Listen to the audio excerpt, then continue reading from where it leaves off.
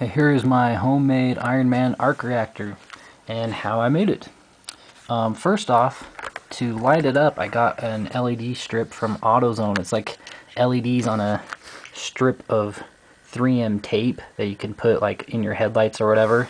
And that was 20 bucks and it comes with a little battery pack and a push switch. I've got to change this switch to a one that stays on, but lights up really well. Looks just like the looks like the real thing off the movie.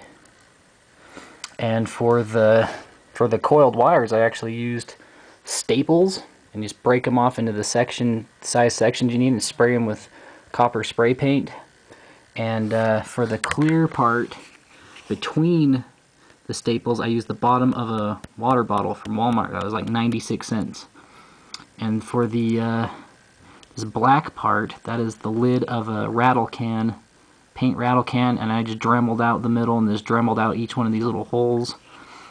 These are just metal tabs that I cut out. Um, the centerpiece is the back of a Harbor Freight uh, flashlight that they give out for free.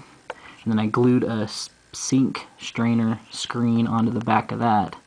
And then the very back uh, piece is a piece of mirror that I cut out in a circle and glued to the back of some pipe from Home Depot. That's three inch pipe. And then this uh, centerpiece right here is a, I don't know what it is. It's a nylon washer thing for that I got in the sink section at Home Depot as well. But anyways, I, everything's glued together with either hot glue or epoxy and lights up really well.